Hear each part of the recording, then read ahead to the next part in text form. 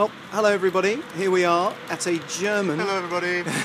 motorway service area on our way to Kloster Eberbach. That's the top of David's head. Oh, sorry, sun went in.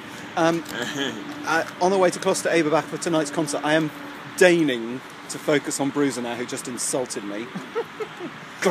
Um, guten And he's having- guten Appetit. Yeah, he's having cake. So uh, we're just uh, having our various discussions towards summer school, which we're thoroughly looking forward Very to, aren't we, looking forward. chaps? Very much, very much so. Very And uh, we know that we'll be Yes, seeing got many Very of you. forward to. We'll be seeing many of you at our summer school. Would anyone like to see me? Hold on. Oh no no no no no!